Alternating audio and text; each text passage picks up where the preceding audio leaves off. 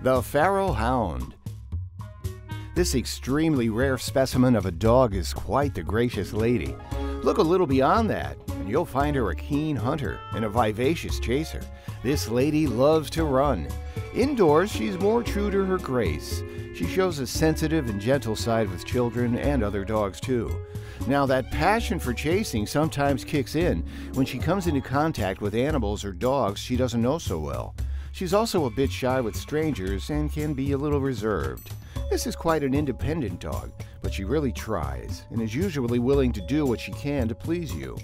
She loves an opportunity to have a good scamper, so take her somewhere safe so she can get off the leash and have a good dash around.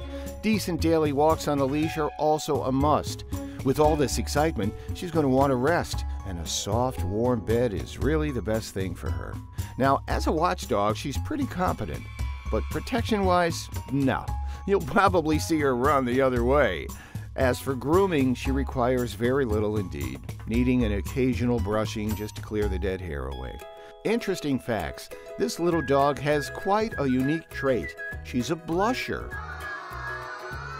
When she gets excited, her nose and ears turn rosy red.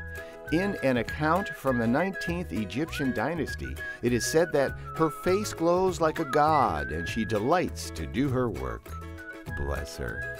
The Pharaoh Hound, a gracious, loving dog with an often visible shy disposition.